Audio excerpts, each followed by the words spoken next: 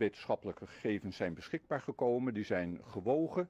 Er zijn ook wat wetenschappelijke rapporten verschenen van uh, moederverenigingen van het RIVM. Bijvoorbeeld vanuit uh, Finland en vanuit Noorwegen. En die zijn meegenomen. En de conclusie van het OMT is dat er momenteel op grond van wetenschappelijke kennis geen reden is tot een dwingende plicht tot het dragen van niet-medische mondkapjes. Kortom, wetenschappelijk bewijs ontbreekt daar domweg voor. Het instituut uit Noorwegen uh, gaat nog wat verder. Die heeft ook uh, berekeningen gemaakt van wat nou het eventuele effect zou zijn.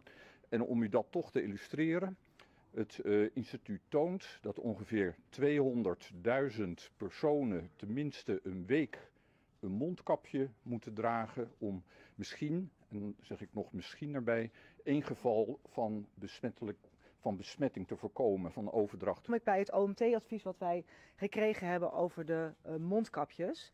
En omdat er um, uh, vanuit medisch oogpunt geen uh, bewezen effectiviteit is van mondkapjes, heeft het kabinet besloten dat er geen landelijke verplichting komt voor het dragen van niet-medische mondkapjes. En dat is wat wij vandaag ook gedeeld hebben met het Veiligheidsberaad. Maar vanuit het Veiligheidsberaad kwam wel breed het verzoek om lokaal maatwerk gericht op gedragsbeïnvloeding, dus niet zozeer medisch gerelateerd, maar wel gericht op uh, gedragsbeïnvloeding, om dat instrumentarium toch eens stevig onder uh, de loep te nemen en ook te kijken waar zou je uh, mee kunnen experimenteren. Waaronder dus ook bijvoorbeeld met mondkapjes.